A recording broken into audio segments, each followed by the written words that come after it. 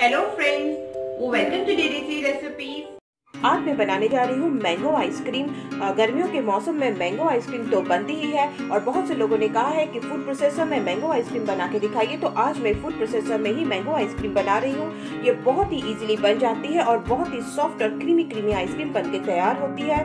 तो अगर आपको ये रेसिपी पसंद आती है तो इसको लाइक और ज़्यादा से ज़्यादा शेयर ज़रूर करिए। तो चलिए हम इसको बनाना शुरू करते हैं।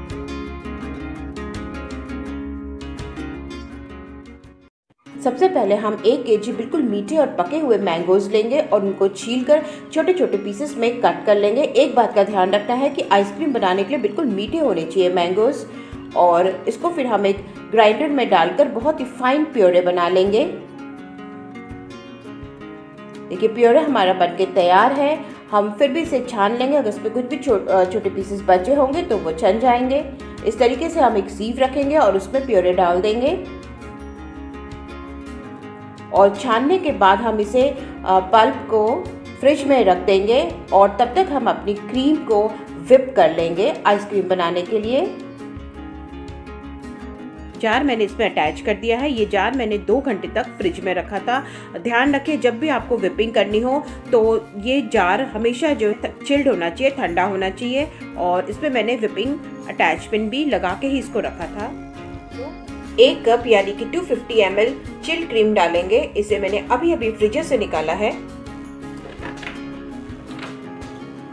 इसे हम पूरे दो मिनट तक विप करेंगे और स्पीड भी हम जो है दो पे रखेंगे। देखिए, जैसे मैं अब कर रही हूँ, एक, दो, तीन लिखा होता है तो मैंने इसे दो पे रख कर विप कर रही हूँ।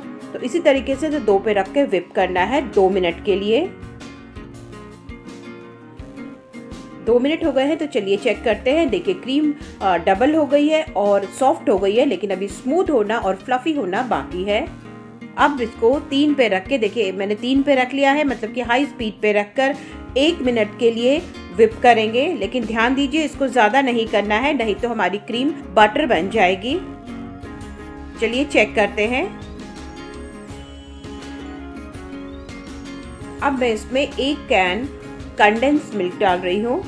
ये वेट से 400 ग्राम है। और इसीलिए इसमें हमें एक्स्ट्रा शुगर की बिल्कुल भी ज़रूरत नहीं है। बंद करके हम फिर से दो की स्पीड में देखिए टू की स्पीड में मतलब मीडियम स्पीड में हाफ़ मिनट के लिए विप करेंगे। ज़्यादा विप हमें बिल्कुल नहीं करना है।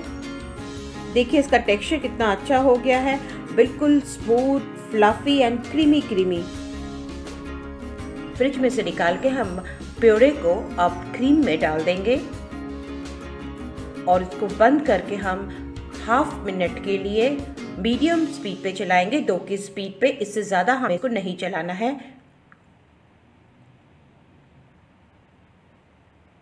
बस आधे मिनट के लिए ही हमें इसे चलाना है। देखिए, हमारी आइसक्रीम बेस बन के तैयार है। देखिए, कितना सॉफ्ट और कितना फ्लफ़ी ये बना है, कितना क्रीमी टेक्सचर इसका दिख रहा है। हमारी आइसक्रीम भी इसी तरीके से बहुत ही टेस्टी और क्रीमी क्रीमी बनने वाली है। तो इसको हम एक कंटेनर में ट्रांसफ़र कर देंगे। इस तरीके से मैंने एक कंटेनर ले लिया है। आप किसी भी शेप का ले सकते हैं और उस पर इसको ट्रांसफ़र कर लेंगे। देखिए टेक्सचर कितना अच्छा आया है। इसको हम लेवल कर लेंगे और थोड़ा सा इसको हम टैप भी करेंगे।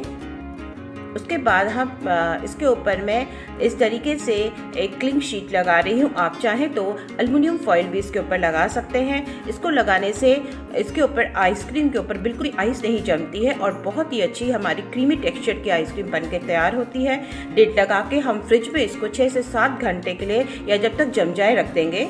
अगर अभी तक आपने सब्सक्राइब नहीं किया है तो प्लीज़ वीडियो के नीचे आने वाले इस सब्सक्राइब बटन को प्रेस करके सब्सक्राइब कर लीजिए और साथ ही साथ बेल आइकन आएगा, उसको भी प्रेस कर सिक्स आवर्स हो गए हैं तो चलिए मैंने बॉक्स को डीप फ्रीजर से निकाल लिया है, इसको ओपन करके देखते हैं।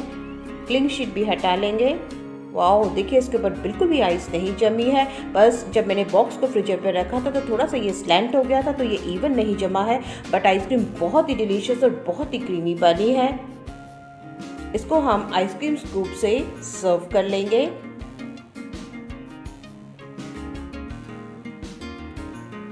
इस बार आप मैंगो आइसक्रीम इसी तरीके से बनाइए, ये बहुत ही क्रीमी, बहुत ही डिलीशियस और बहुत ही जल्दी बन जाती है और मैंगो आइसक्रीम सभी को बहुत पसंद होती है। मेरी तो ये फेवरेट है। देखिए, मैं नज़दीक से आपको दिखा रही हूँ कितनी अच्छी है जमी है।